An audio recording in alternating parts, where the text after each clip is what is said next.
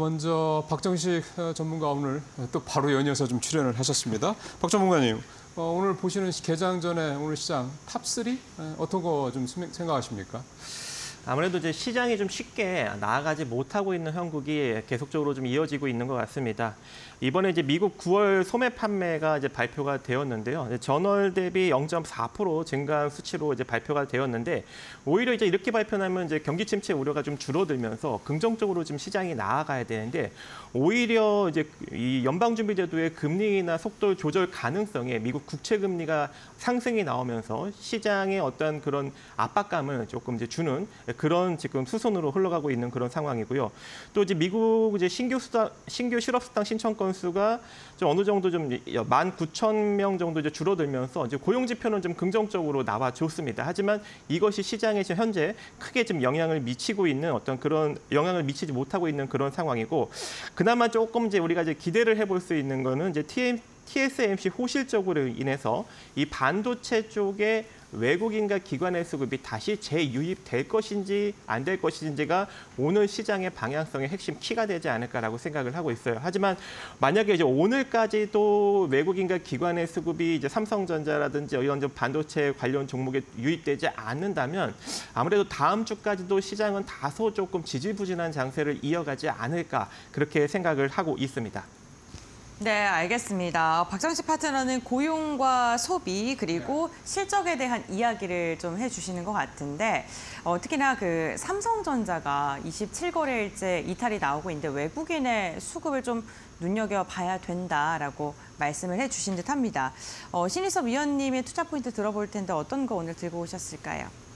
네, 반도체와 2차 전지가 시가총액 상위에 포진해 있는 우리나라의 구조상 반도체와 2차 전지가 다 진흙탕에 빠져서 누구 손이 높으냐는 아무 상관이 없는 상황이라고 생각이 됐잖아요.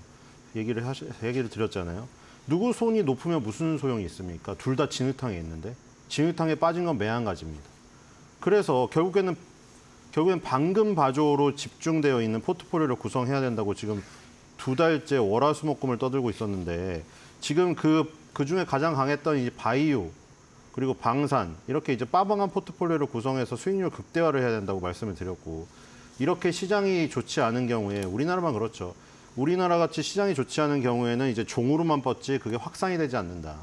예를 들어 뭐 미국이나 대만 같이 이제 시가총액 1위가 저렇게 강하게 가는 경우에는 업종이 퍼집니다.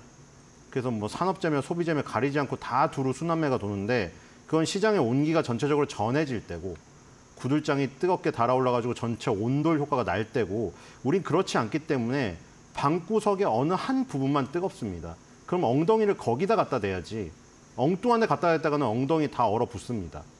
그러니까 지금 계속 말씀드리는 게 종에서 종 안에서 횡으로 가는 건 가능한데 횡으로 뻗어 나가는 게 아니기 때문에 전혀 다른 데서 기다려 기다려봐야 시간 낭비라고 말씀드렸어요. 이 지금 바이오 중에서 방사성 의약품 관련주가 지금 초강세를 보이고 있죠. 이것도 어제 얘기 드렸어요. 장중에. 그렇죠? 셀비온이란 종목이 신규 상장을 했다고 말씀드렸는데 장 마감에 상한가를 갔습니다. 이 지금 SK 바이오팜의 IR에서 나타나는 그게 상징적인 의미가 있었죠. 최태원의 장녀가 거기 나서서 앞으로 방사선 의약품이 이 씬을 주도할 테니 내가 책임지고 해보겠다. 이렇게 의혹을 밝혔잖아요. 그러니까 지금 SK 바이오팜이 이 부분을 주도한다고 해서, 해서 동아 ST, 퓨처캠 이런 종목들이 급등하고 있었단 말이에요. 거기서 이제 셀비온, 셀비온이라는 종목이 같이 신규 상장을 하면서 동참을 하게 된 거죠. 이것도 같이 계속 말씀드렸습니다. 새로운 종목들이 참여를 해가지고 계속 IPO 작업을 하고 들어오면서 점점 더 그 힘이 강해지고 집단 그 형성을 한다고 클러스터 효과가 있다고 말씀을 드렸어요. 자, 두 번째는 방산 3대 천왕의 끝나지 않은 시세 분출입니다. 한화 에어로스페이스, LIG넥스원, 현대로템 이 방산의 3대 천왕은 아직도 신고가를 가고 있습니다. 물론 신규 매수는 상당히 어렵다고 말씀을 드렸죠. 과열권이 지금 한화에어로스페이스가 역사상 가장 과열이 되었던 그 부분까지 거의 저, 근접했다고 그때 짚어드렸습니다. RSI 기준으로. 그렇기 때문에 신규 매수는 부담스러우나 가지고 계신 분 입장에서는 수익률을 정말 끝까지 뽑아 먹어야 될 때죠. 여기서 뭐 장대 연봉이 첫 출연할 때까지는 팔지 않았으면 좋겠고요. 세 번째는 금융주입니다. 자, JB 금융지주 얘기 드렸죠. 메리츠 금융지주가 1등주로서 계속 그 시세를 연이어 주니까 JB 금융지주가 완전 설치는 지금 상황이 됐다고. JB 금융지주는 지방은행입니다. 지방이 지금 소멸되고 있잖아요. 근데 왜 제2비금융지주가 어떻게 부각이 됐느냐? 전북은행하고 광주은행을 통해 가지고 지역 특화를 하고 핀테크를 통해서 이 오프라인의 약점을 공, 공략을 했어요. 그리고 외국인을 공략하고 이런 효과들이 지방은행임에도 불구하고 저런 다이나믹한 모습이 금융주에서 나오기가 힘들거든요. 금융주는 안정적이고 보수적이어서 변하지가 않습니다.